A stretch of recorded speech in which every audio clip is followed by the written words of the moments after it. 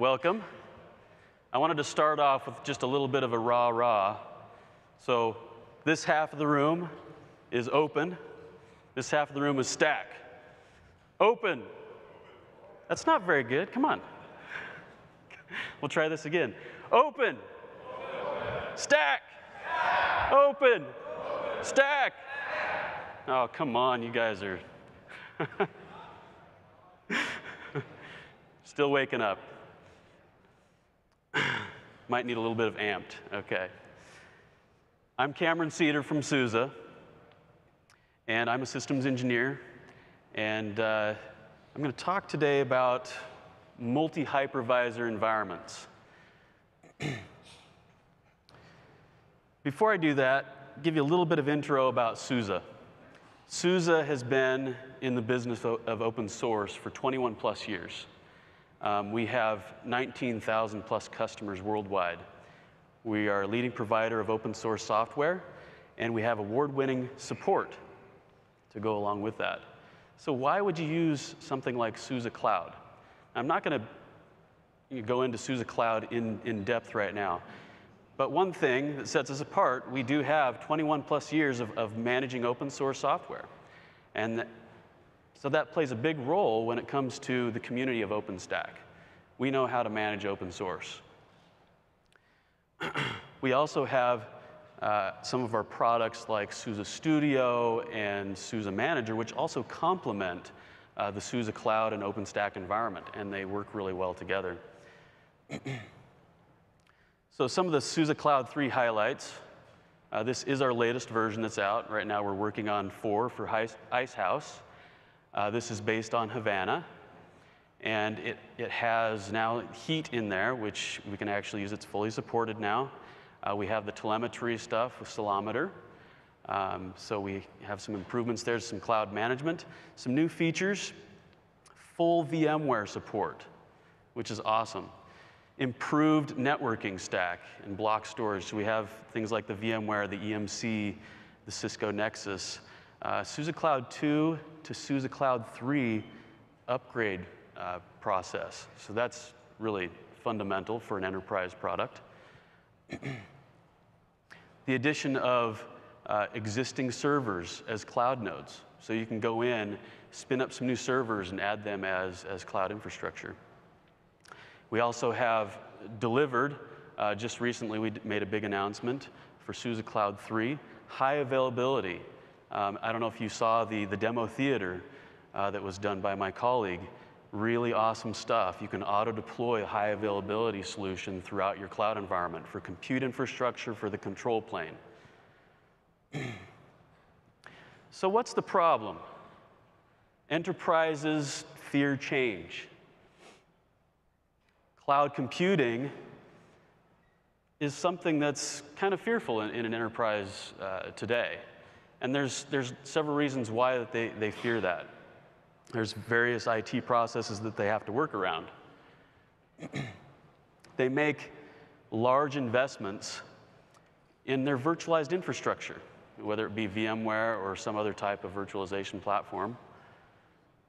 They invest in skilled employees. They get them trained on top of VMware. It makes it really hard to move if somebody's already been trained on one hypervisor platform. And maybe they get skilled in Linux, I hope. or maybe they get skilled in, in some other area. Uh, maybe it's Oracle. So they make a big investment there. So, also, lack of familiarity with the open source hypervisors. So, in my travels, I spend a lot of time with people that have a lot of VMware. We come up against this all the time. And I talked to them about how they can use workloads on KVM and on Xen uh, as alternative hypervisors, um, trying them out testing, testing those workloads out to see how well they'll run there. Um, they don't believe me sometimes, but they try it out. They give it a whirl. Vast majority of VMware administrators are Windows users. So that's kind of a big hurdle getting them trained on, on Linux. Um, that's, that can be a big hurdle. That's a big investment, trying to get your staff retrained. disaster recovery. So VMware has great disaster recovery tools, uh, a lot of things that are built right in. Um, you might not want to reinvent the wheel there and disrupt that, that process. So what do enterprises really need? It's all rainbows and unicorns, right? um, that's at least what we like to think, anyways. In a homogeneous environment, that's not really true. These rainbows and unicorns don't exactly exist. So, what do they really need? Um, no data center is really um, homogeneous. VMware has approximately 56% of the market. That's huge. Hyper-V is growing rapidly, although, but it's not necessarily you know, on the tails of, of VMware. Um, they're kind of growing in their own regard, in their own space. Cloud computing needs to be agnostic. We need to be able to plug in to multiple environments, be able to utilize current infrastructure, be able to uh, take workloads and move them around from one infrastructure to another one, uh, be able to have that, that brokering between the various hypervisors. today we have VMware, and these are, these are the major players today, okay? VMware, Windows Server Hyper-V, the Xen project, and then KVM. These are the major players. Now, there's some other things on the rise, but they're not mainstream yet. Mixed hypervisor support matters. Now, why? Because you have workload optimization. There may be an application that runs really well on VMware. There may be an application that runs really well on KVM. I always suggest people that they try those workloads out on the various hypervisors because you might find that uh, you might be able to save some costs by running it on a KVM or Xen hypervisor rather than VMware and not paying into that, that VMware tax. Cloud can simplify your control plane. Um, you can schedule um, uh, instances and workloads across the various hypervisors, and it gives you licensing flexibility. You don't have to be stuck in that VMware tax. So how can I make it happen? With VMware, you're going to need uh, a driver that's been added as of Grizzly. Um, they've been doing a lot of work on that driver and really have expanded it quite a bit. Um, you know, early on, it only supported a single cluster, which was kind of limiting, but now supports multiple clusters in Havana. Um, yeah, don't use Grizzly. um, so major upgrade in Havana. Compute node uh, dedicated to communicating with vSphere. Um, and so that can be easily done um, with OpenStack today. A direct connection to vSphere. There's also the NSX, pl NSX pl plugin uh, for Neutron. So if you are going down the road of doing your software-defined networking, uh, you really want to deploy that. Um, clusters of clusters with, uh, with VMware. So now you can, it's, uh, multiple clusters are supported. and you're going to need a bridge interface defined on, um, uh, on Sorry, I just had a um, ESXi systems on your vSphere systems. Uh, some of the limitations there, though, you have no IP tables. So where you were really used to that on KVM or Xen, um, you don't have that in the VMware infrastructure. You, you, can't do security groups. You can't really lock that down, and, and so you have some limitation on that when you're running in VMware. No Cinder support. Okay? Although in Icehouse, um, we do have the VMDK driver now in Cinder. So that's kind of a nice thing. Take advantage of that. And then, of course, no live migrations. You have to uh, rely upon the tools within VMware. So Microsoft Hyper-V, how do we do that? it's very usable as, as of Grizzly code. And you can set up some virtual switching. You'll need to do that uh, within uh, the Hyper-V environment. You have to enable the iSCSI initiator service within Hyper-V. So there's, there's quite a few steps you've got to do here within the Hyper-V system. And you have to do the shared nothing live migration capability there uh, in Hyper-V, and then install the Nova Compute on your Hyper-V node. Some of the limitations, again, we don't have any IP tables, so we're limited again. No security groups. So if you want to go in and, and configure your users to have you know, certain uh, aspects of security within your OpenStack framework, that will not carry on over to your Hyper-V environment. And you must use RDP. So there's no way that you can use that, that console within, um, uh, within Horizon. So the VLAN and routing is also supported on Hyper-V. When you, when you use the, uh, the Neutron Hyper-V agent, which is the ML2 driver, gives you that layer two functionality. Um, so you're going to need that if that's the type of functionality you're going to, uh, going to want with, uh, with VLANs. So Xen and KVM, this is kind of the de facto default around OpenStack using KVM or Xen. With SUSE, we give you the easy button. We make it easy for you to deploy, to consume any hypervisor that you would like to use. Okay? so how do you do it? So this picture is a crowbar.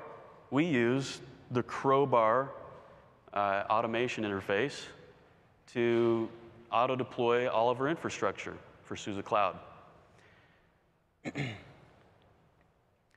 uh, glance, uh, when you are uh, importing some of these uh, other images for, let's say, Hyper-V or VMware, there's some things you need to look at. if you're importing an image, um, you need, for VMware, you need to have the pre-allocated disk type. Uh, make sure it's a, a flat image. Uh, make sure it's ready for ESX. Um, there may be some other images that may not actually work. Um, so you need to pay attention to that. Um, a nice utility from VMware is the VMware vDisk Manager to do that conversion. So this is kind of a tool that you're going to need to use uh, in order to convert that image into the right format that can be consumed in, in VMware uh, outside of uh, using OpenStack. And so this is kind of the end result. Um, this is what it looks like inside of SUSE Cloud. Um, you're going to have a Hyper-V, you're going to have KVM, you're going to have VMware, all working together from OpenStack. so let's, let's dig into that just a little bit deeper. I'm going to show you live uh, some of this stuff.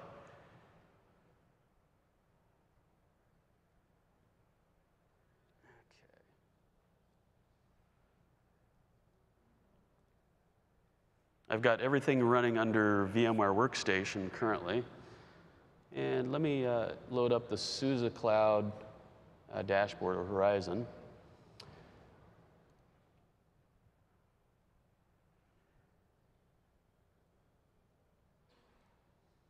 And while that's loading up, we'll skip on over to uh, crowbar uh, Nova configuration.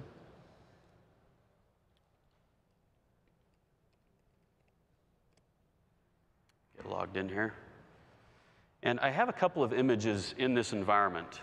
I have a VMware image and I have a KVM image.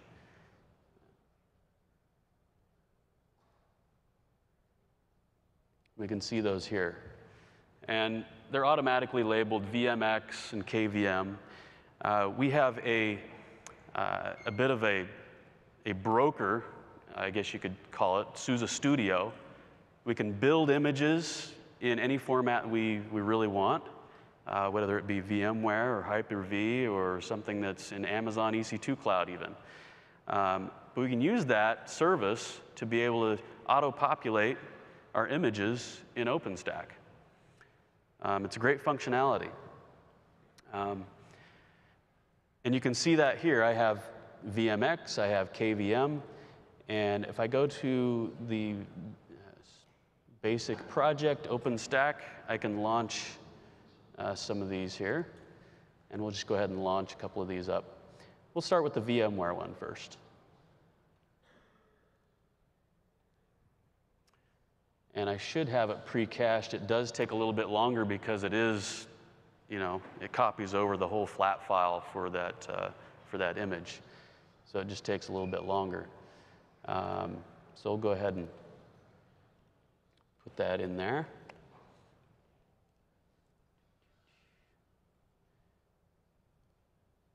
And I'm just doing some, some very basic stuff here. And that's going to build and launch over on VMware. That process is going to take a little bit. So while that's doing that, uh, why don't we go ahead and launch the one on a KVM hypervisor as well.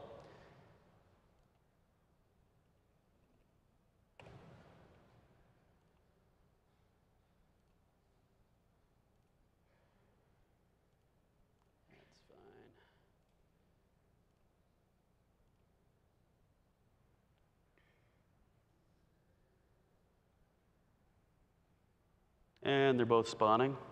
That VMware one's going to take a little bit longer. While that's going through that, let's, let's take a look at uh, vCenter. So nice you can do this all in Linux now. Used to be only had you could only do vCenter from Windows. Not anymore.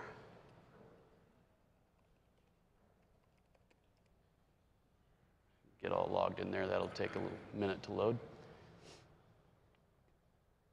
And they're both running.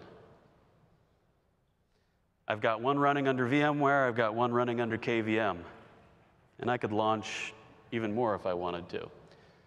Um, the way that I'm making all this happen uh, using this, this broker that I was talking about, SUSE Studio, I have an image here that I've taken. I've created it, and uh, I've selected all the software that I've wanted. I've gone through the software selection, uh, created the, the image that I've wanted through this, uh, gone through some basic configurations, set up DHCP, taken out the, the end user license agreement, um, personalized it a little bit. I can even add, you know, logo in there, whatever I like.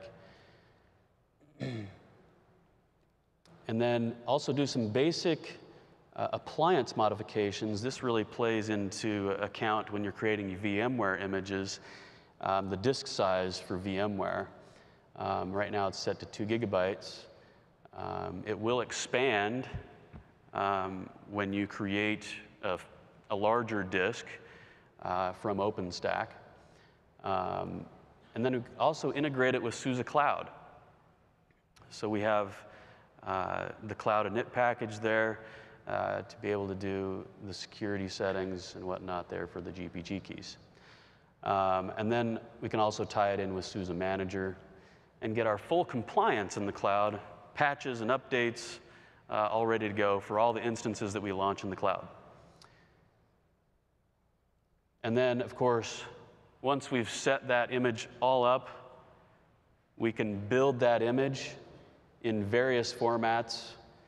And I can take that same image that I've launched in my private cloud, and if I want to launch it in a public cloud, I could. I could launch that into Amazon EC2 or Windows Azure straight from the SUSE Studio broker.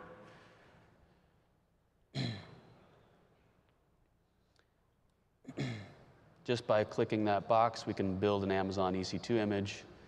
Um, if I select VMware, I can go down here and click Build Additional, and it's going to build me a VMware image. It takes about four minutes. It's pretty fast. Once it's done building, it's going to automatically show up in my OpenStack environment.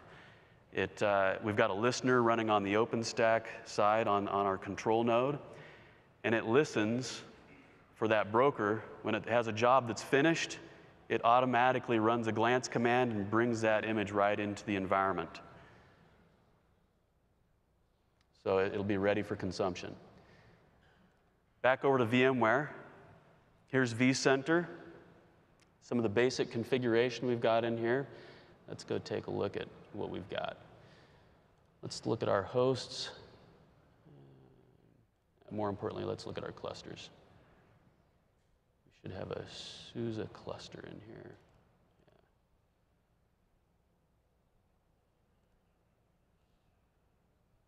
There's one of our hosts. Okay. So here's the basic networking stack. I do have two network interfaces in this particular environment. Uh, the vSwitch 1 uh, has the necessary pieces. We've got the bridge interface all set up. Um, if you look through the OpenStack documentation, there's some minimal settings that you have to set up in, in uh, vCenter. Um, really easy to set up. Make sure you have that bridging interface, and it will communicate really nice and easily. Um,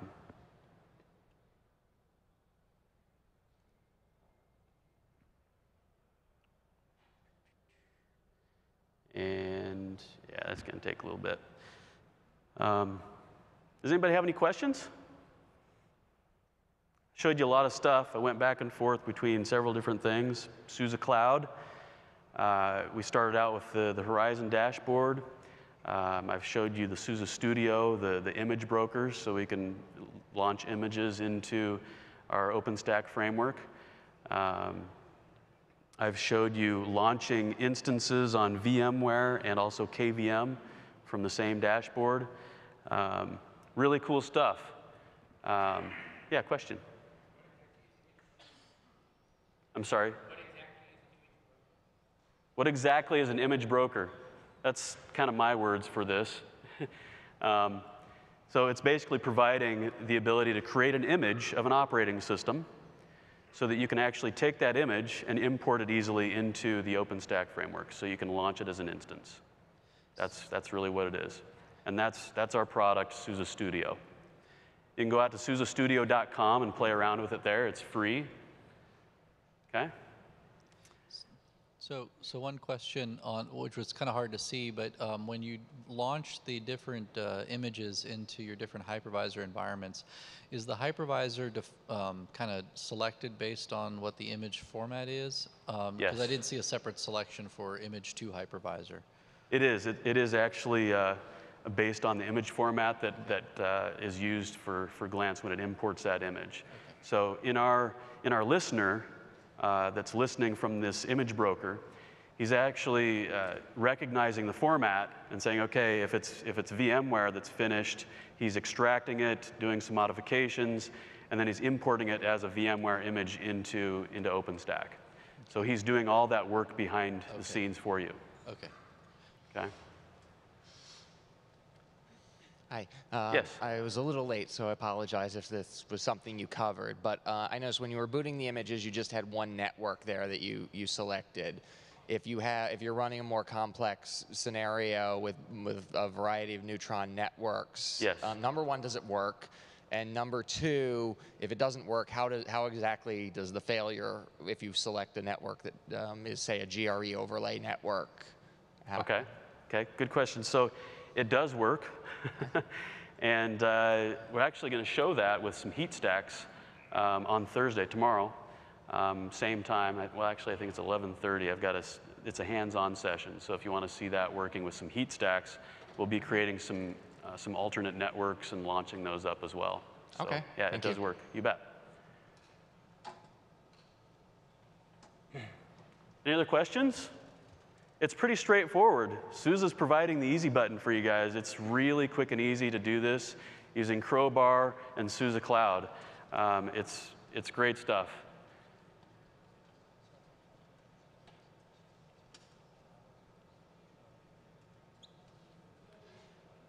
The SUSE Cloud admin appliance is available. This admin appliance loads up Crowbar it's got everything you need, all the software that you need to deploy an entire OpenStack cloud based on Havana right now. Here's the link. Go download it. Um, it's really quick and easy. You'll have a cloud up and running in about, you know, if you're as fast as I am, a half an hour. um, yes, question.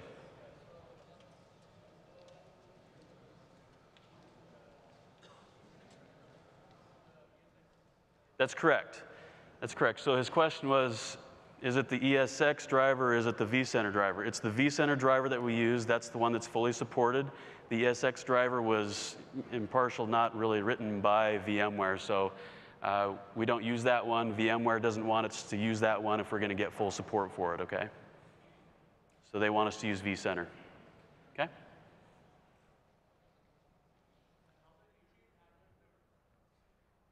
Again? How is the HA handled? Uh, yeah. Yes.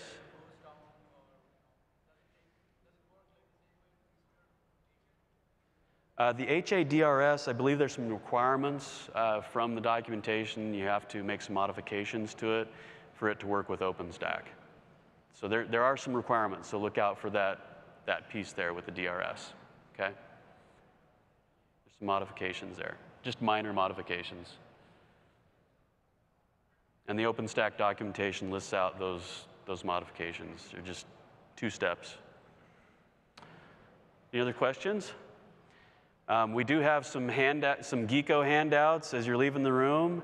We've got uh, some cards with this, uh, this link on it, um, so you know where to, to find the, uh, the appliance, uh, so you can start uh, deploying some SUSE Cloud. Thanks for coming, guys.